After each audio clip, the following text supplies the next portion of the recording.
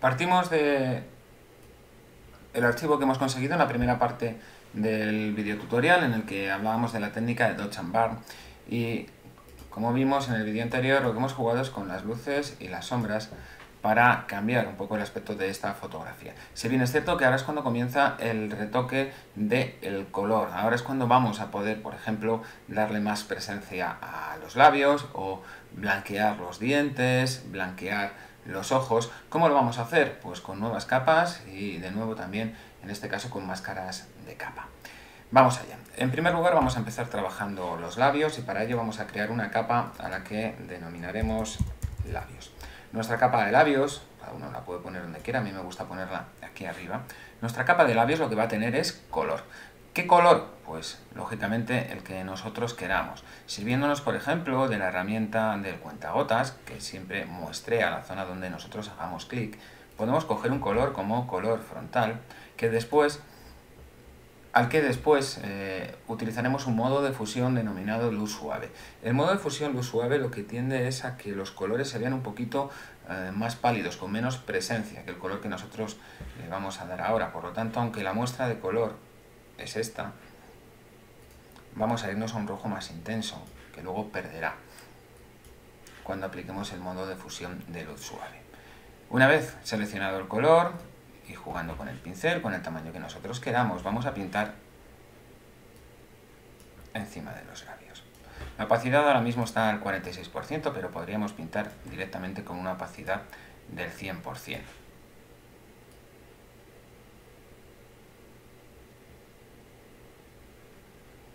Y no pasa nada si me salgo, ya veréis.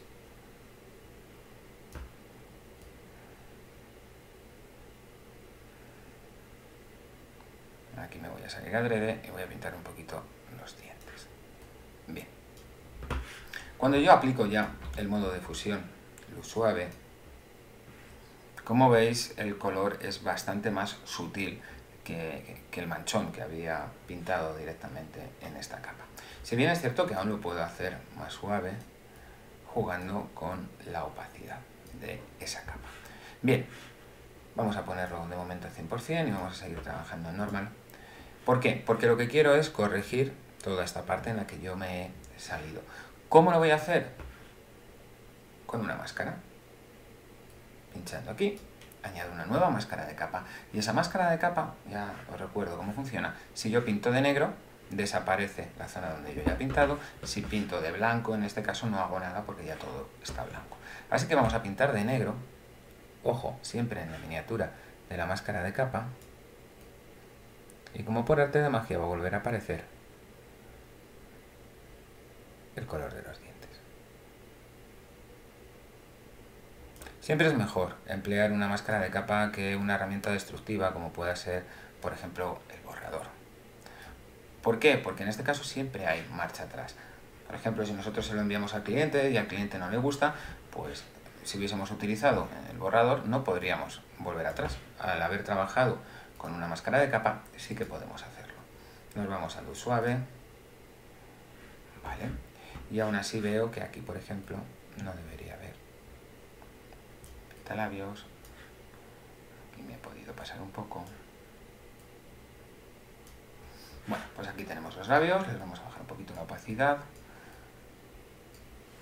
¿Y qué nos pide? Pues enseguida los dientes. Los dientes son blancos de por sí, pero vamos a blanquearlos un poquito más en una nueva capa, a la que llamaremos dientes. Esta capa de dientes, como podéis deducir, lo que hago es pintar de color blanco la zona donde están los dientes, pincel y el color frontal blanco.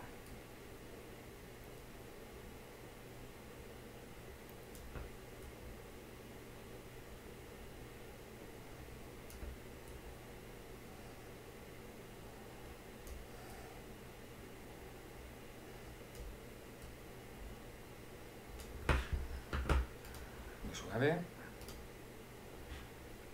Y un poquito la opacidad.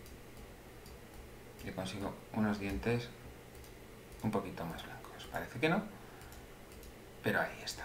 Si quisiera, si me hubiera salido, también podría utilizar una máscara de capa para corregir. Vámonos ahora a la zona de los ojos. En la zona de los ojos es muy importante que este área de aquí, el blanco de los ojos, sea perfectamente blanco. Por lo tanto vamos a crear una nueva capa, la que llamaré blanco ojos, y esta otra capa que he creado la vamos a llamar iris. Van a ser dos capas distintas. En la capa blanco ojos, lo que voy a hacer es blanquear esta zona de aquí. Como ya tenía seleccionado el color blanco, cojo el pincel, un pincel más pequeño,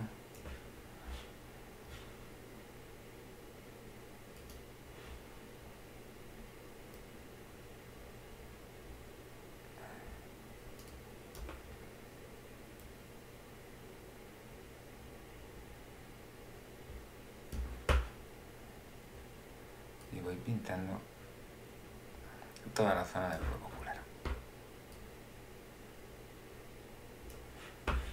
para estos pequeños retoques, pues ahora lo que hago es coger un pincel aún más pequeño, me meto en esta zona de aquí, esta zona de aquí, y en esta zona de aquí. Estos ojos, lógicamente, no los puedo dejar así, aunque cambie el modo de fusión y lo cambie a luz suave, siguen siendo unos ojos un poquito artificiales. Por lo tanto, máscara de capa y pinto de negro allá donde me haya salido, por ejemplo, esta parte de aquí.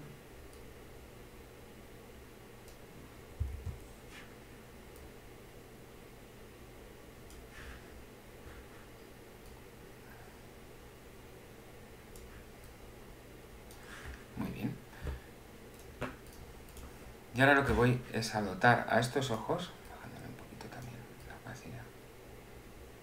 Vamos a dejarla alta. De momento vamos a dejarla alta. De volumen. ¿Cómo los doto de volumen? Pues pintando de negro en la máscara que acabo de crear. Voy a coger un pincel mucho más grande, con una opacidad media. Y si yo pinto aquí, es como si estuviera pintando de gris, es decir, estoy dándole un poquito de sombra a esas zonas que tenían sombra. Pero sin embargo, el ojo está quedándose más blanco. ¿Veis? Como ha ganado en luminosidad. Si nos parece exagerado, lo bajamos un poquito. Dejamos en pantalla.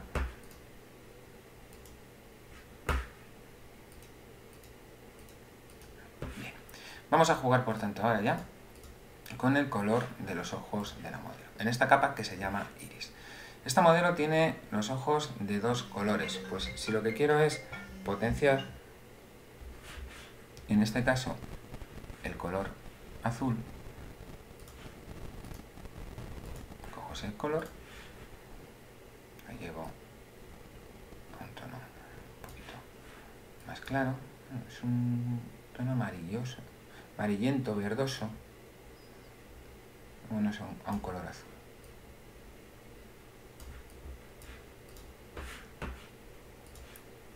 Y vamos a pintar con un pincel pequeñito.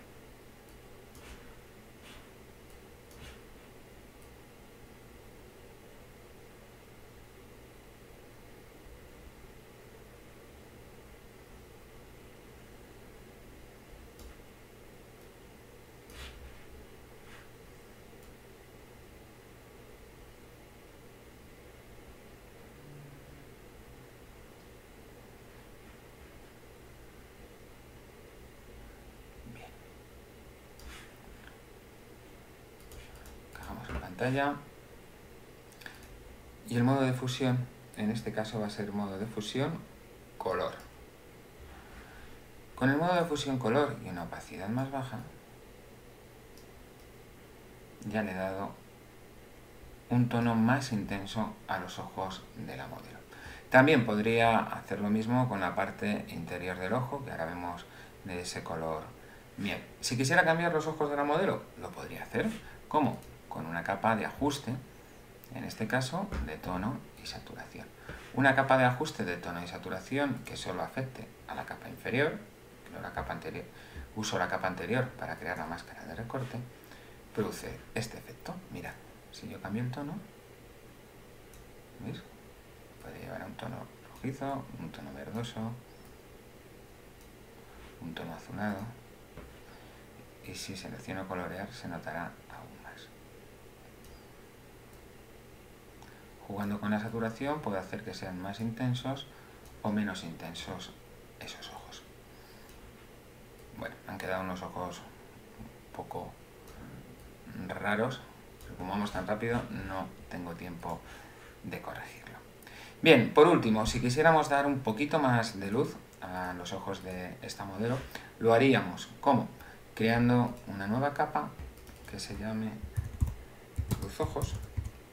Y en esta nueva capa, denominada luz ojos, lo que voy a hacer es pintar de color blanco con un pincel muy chiquitito,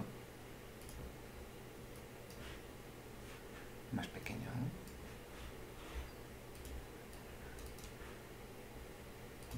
No, no, cuatro. Esta zona de aquí, ¿veis?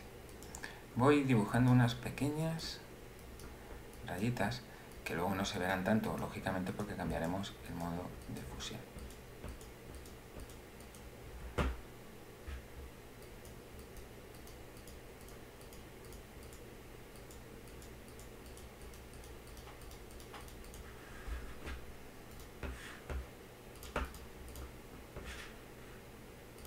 fusión, luz suave. ¿Que se nota mucho? Porque lo he hecho muy rápido. Bajamos un poquito la opacidad. Y esto mismo que hemos hecho con la luz de los ojos lo vamos a hacer también con sombras. En los ojos, crea una nueva capa que se llame sombra ojos y en ella voy a pintar, en este caso, de negro, también con un pincel muy pequeñito, esta zona de